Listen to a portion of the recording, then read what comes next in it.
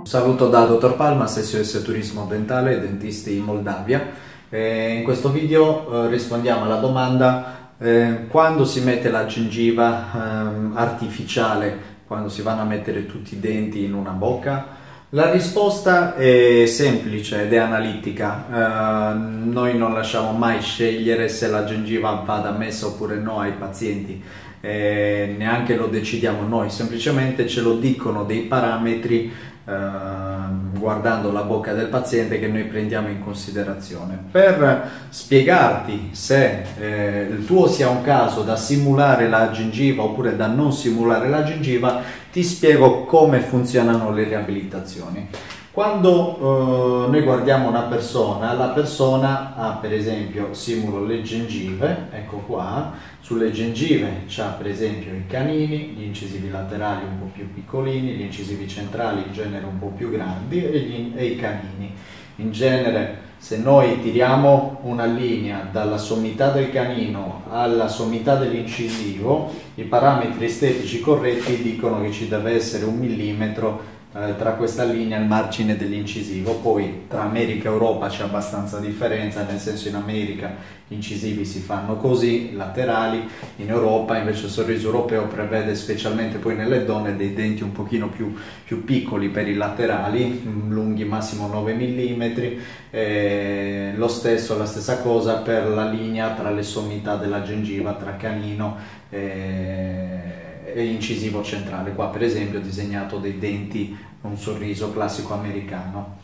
Qua sopra cosa ci sono? Ci sono le radici nell'osso, ovvero i denti hanno sotto delle radici, qua, questa sarebbe praticamente la gengiva e poi c'è eh, praticamente che cosa? Anche un labbro qua di una bocca che sorride, ok? E solitamente i denti, questo è il labbro inferiore e questo per esempio è il labbro superiore. Quando si perdono i denti, si perdono non solamente le eh, porzioni bianche visibili del sorriso, ma si perdono anche le radici. Quando noi perdiamo le radici, cosa succede? Che le gengive non rimangono qua, ma le, le, gengive si ritraggono. Se noi restiamo senza denti per diversi anni, le gengive possono anche salire a questo livello e l'osso pure viene riassorbito.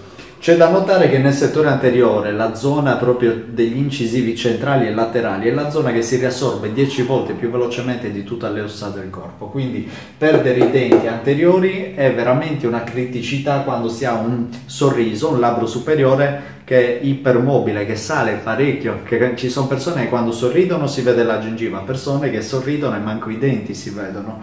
Dipende un po' dalla conformazione del labbro, da quanto il labbro è lungo, da quanto il labbro è elastico, da quanto il labbro è anziano, quindi è lungo, in genere il labbro ha una lunghezza di 27 mm, nell'anziano il labbro è molto più lungo. E abbiamo persone che ci dicono ma io quando sorrido non si vedono i denti, certo perché hai un labbro molto lungo, ma noi non possiamo mettere i denti qua giù eh, in un labbro già lungo, cioè ci sono dei parametri facciali che vanno tenuti in considerazione quando si programma dove bisogna mettere nel display del sorriso dal labbro superiore al labbro inferiore questo spazio si chiama display del sorriso dove vanno posizionati i denti che devono coincidere chiaramente con la linea mediana del viso, devono stare visibili tra questo e questo, eh, questa parte del labbro, ma soprattutto devono avere un'altezza e larghezza eh, con una proporzione dell'85%. Questa, uh, se viene sballata, questa proporzione, praticamente si ha la sensazione o dei denti piccoli o dei denti lunghi, da balena, come i fanoni. Quando noi perdiamo le radici, dicevo prima, l'osso se ne va allora noi dobbiamo non solo andare a mettere degli impianti dentali, ma dobbiamo anche, gli impianti dentali si mettono là dove è finito l'osso, ma dobbiamo anche ricostruire il tessuto osseo che, o meglio simulare la gengiva che si è persa. Questa è la cosiddetta gengiva artificiale.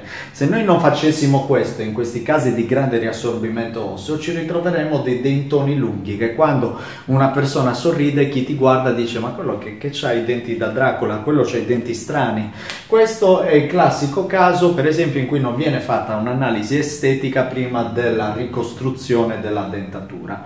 Questo video lo metto come primo in questa sezione perché è importante, prima ancora di scegliere i materiali, eh, capire proprio questo col paziente, capire quanta quota di tessuti si sono persi all'interno della bocca. Ci sono bocche dove l'osso si è ritirato tanto, sia sotto che sopra, dove dovremo costruire molto di più per eh, riempire la bocca di ciò che si è perso. Invece delle bocche dove si sono appena persi i denti non c'è necessità di ricostruire la gengiva perché la gengiva e l'osso stanno ancora lì dove erano originariamente. Quindi gengiva sì, gengiva no, eh, non è una cosa che decide il paziente, sono parametri estetici che sappiamo, che conosciamo noi degli addetti ai lavori, se bisogna ricostruire la, simulare la gengiva e l'osso perso noi lo facciamo sempre perché quando poi il labbro sorride non scopre mai la linea di passaggio tra la gengiva artificiale e le gengive reali. Ma se noi facciamo dei denti lunghi scoprendo il labbro i denti lunghi si vedono e sono veramente antiestetici.